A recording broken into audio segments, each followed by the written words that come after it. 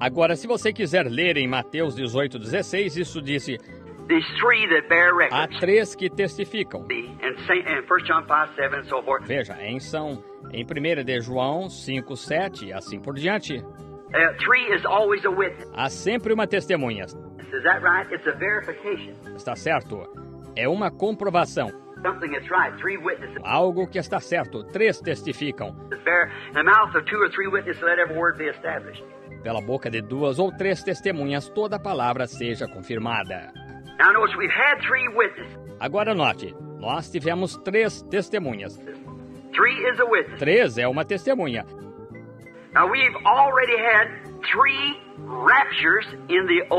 Agora, nós já tivemos três arrebatamentos no Antigo Testamento. But did you know that? Você sabia disso? As a witness. Como uma testemunha. Now, watch. Agora observe: Enoch was one, Enoque foi um, Elijah was the other, Elias foi outro and Jesus was the other. e Jesus foi o outro. Jesus being the keystone. Jesus sendo a chave básica. Now, he bear record. Agora ele testifica, está vendo?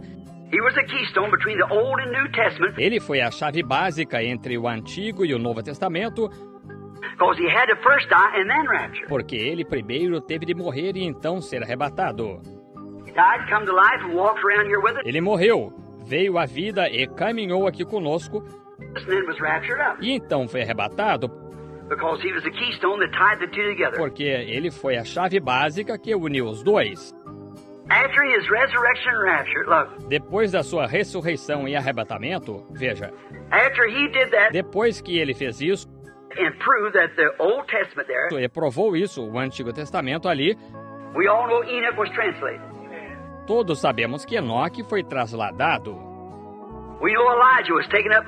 Nós sabemos que Elias foi levado por um redemoinho, isso mesmo, num carro de fogo. E Jesus morreu, foi sepultado, ressuscitou e viveu aqui na terra. Aí então foi arrebatado, a chave básica.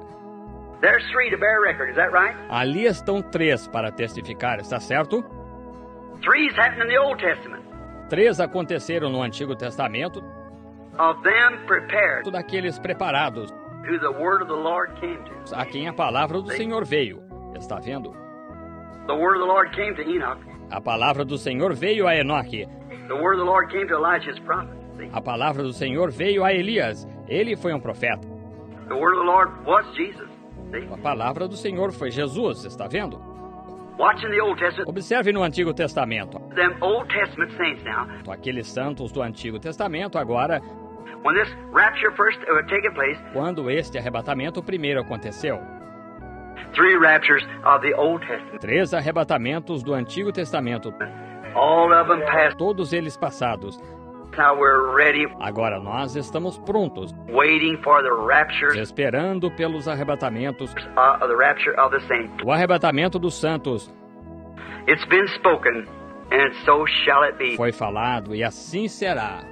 When God says anything, Quando Deus diz algo, passarão todos os céus e a terra, mas essa palavra nunca falhará.